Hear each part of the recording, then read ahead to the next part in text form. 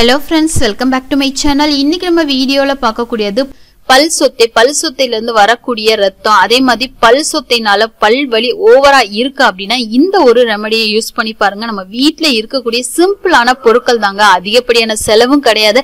அதே மாதிரி இந்த பொருட்கள் நம்ம யூஸ் பண்ணும்போது சைடு எஃபெக்ட் ஏதாவது ஏற்படுமா அப்படின்னு கேட்டீங்கன்னா கண்டிப்பா கிடையாது. நம்ம பல்வலி ஏற்பட்டுருச்சு அப்படின்றதும் கண்டிப்பா பாத்தீங்கன்னா இந்த பல்வலி அப்படிங்கிறது நைட் டயத்துல மட்டும்தாங்க ஏற்படும். ஏன்னா நம்ம உணவுப் பொருட்களை சாப்பிட்டது நைட் வேலையில தான் அது வந்து வேலையை காமிக்க ஆரம்பிக்கும். சோ அதனாலதான் பல்வலி நைட் வேலையில அதிகமா ஏற்படுது. அந்த டயத்துல நம்ம ஹாஸ்பிட்டல் போறதுக்கு முன்னாடி நம்ம பல்வலியை குறைக்கணும் அப்படின்னு நினைச்சீங்கன்னா இந்த ஒரு ரெமடி ரொம்ப ரொம்ப யூஸ்ஃபுல்லா இருக்கும். உங்க வீட்டுல இருக்கக்கூடிய பொருட்கள் தான். அதனால நீங்க வெளியில போய் வாங்கணுங்க அவசியம் கிடையாது. சோ இந்த ரெமடி எப்படி பண்ணலாம்னு சொல்லிட்டு பாக்கலாங்க சோ இந்த ரெமடிக்கு நான் ஃபர்ஸ்ட் எடுத்துக்கக்கூடிய பொருள் என்ன அப்படின்னு பாத்தீங்கன்னா சின்ன வெங்காயம். சின்ன வெங்காயம் ரொம்ப ரொம்ப யூஸ்ஃபுல்லான ஒண்ணுங்க. பல்வழியை தீக்குதற்கு எல்லா விதமான மருத்துவ குணம் கொண்டது.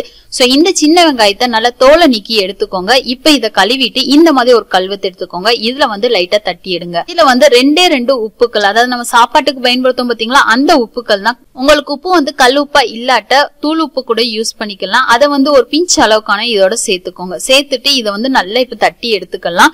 இப்ப பாத்தீங்கன்னா தட்டி எடுத்துட்டு இதை என்ன பண்ணணும் அப்படின்னா சார் பிழிஞ்சு எடுக்கணும். இந்த மாதிரி ஒரு பவுல் எடுத்துக்கோங்க. வந்து நல்லா கைய வச்சே பிள்ளைங்க இதுக்குன்னா இதுக்கு வடிகட்டிலாம் நீங்க யூஸ் பண்ண வேணாங்க. கைய வச்சு நல்லா பிரிஞ்சிங்க அப்படின்னா சார் வந்து வர ஆரம்பிச்சிரும். சோ இந்த அளவுக்கு சார் வந்து போதுமானது. ஏன்னா பல்லுல தான் நம்ம அப்ளை பண்ண போறோம்.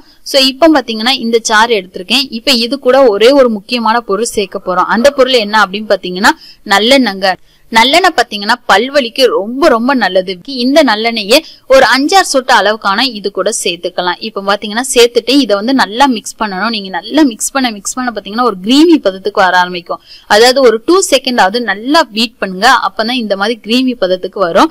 இப்ப என்ன பண்ணணும் அப்படின்னா இந்த ரெமடி எப்படி அப்ளை பண்ணணும் அப்படின்னா கையை வச்சு கூட உங்களுக்கு அந்த பல் சொத்தை இருக்கக்கூடிய இடத்துல வைக்கலாம். அப்படி இல்லைன்னா இல்லைன்னா உங்கள்கிட்ட வந்து பஞ்சு இருந்துச்சு அப்படின்னாலும் அதை வந்து கொஞ்சமா எடுத்து இதுல நல்லா முக்கிட்டு அதுக்கப்புறமா அந்த இடத்துல அப்படியே வச்சுட்டு பல்ல வந்து நல்லா கடிச்ச மாதிரி வச்சுக்கோங்க. அழுத்தி கடிச்சிட்டாங்க லைட்டா கடிச்ச மாதிரி வச்சுக்கோங்க. ஒரு அஞ்சு நிமிஷத்துக்கு நம்ம உமிழ்நீரை முழுங்காம இருக்கணுங்க. அதுக்கப்புறமா அஞ்சு நிமிஷம் கழிச்சு கொஞ்சம் வெது வெதுப்பான தண்ணியை வச்சு வாயை கொப்பளிச்சு துப்பிருங்க இந்த மாதிரி பண்ணும் போது இந்த ரெமடினால அந்த சொத்திப்பல்ல இருக்கக்கூடிய புழுக்கள் ஃபுல்லாமே சாக ஆரம்பிச்சிடும் இதை வந்து நம்ம கொப்பளிச்சு துப்பும் போது வெளியேறிடும் நம்ம முழுங்கிட்டோம் அப்படின்னா நம்ம வயிற்றுக்குள்ள போக ஆரம்பிச்சிடும் சோ அந்த மாதிரி பண்ணாம நல்லா வாயில ஊத்தி கொப்பளிச்சு துப்பிடுங்க. இந்த ரெமடி நீங்க ஒன் டைம் பண்ணும்போதே பாத்தீங்கன்னா பல்வலி கண்ட்ரோலுக்கு வர ஆரம்பிச்சிடும் அதே மாதிரி சொத்தைப்பல் அதிகமா இருக்கு அப்படின்னா கண்டிப்பா டாக்டர்கிட்ட போய் காமிங்க. அந்த சொத்தைப்பல்ல இருக்கக்கூடிய சொத்தை ஃபுல்லா நீக்கிட்டு ஃபில்லிங் பண்ணுவாங்க. இதனால பாத்தீங்கன்னா பல்ல வந்து சேவ் பண்ணிக்கலாம். அதாவது பல் வந்து ரொம்பவே முக்கியமான ஒண்ணுங்க. அந்த பல் அதாவது பல் இல்லைன்னா சொல்லில்ல அப்படிம்பாங்க. அந்த அளவுக்கு பல் வந்து ரொம்ப ரொம்ப முக்கியமான ஒண்ணு. இந்த ரெமடி எல்லாம் பாத்தீங்கன்னா பல்வழிய குறைக்க தான் செய்யும். பல்ல வந்து பாதுகாக்காது. பல்ல பாதுகாக்கணும் அப்படின்னு நினைச்சீங்கன்னா கண்டிப்பா ஃபில்லிங்கோ இல்ல வேர் சிகிச்சை பண்ணீங்க அப்படின்னா பல்ல வந்து பாதுகாத்துக்கலாம். கண்டிப்பா பல்வலி ஏற்படுச்சு அப்படின்னா இந்த ஒரு ரெமடியை யூஸ் பண்ணி பாருங்க.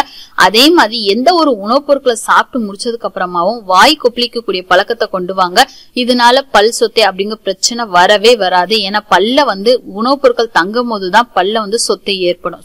அதனால எந்த ஒரு உணவுப் பொருட்களை நீங்க சாப்பிட்ட உடனே வந்து வாயை கொப்பளிக்கக்கூடிய பழக்கத்தை கொண்டு வாங்க. உங்க குழந்தைகளுக்கு அதை சொல்லி கொடுங்க.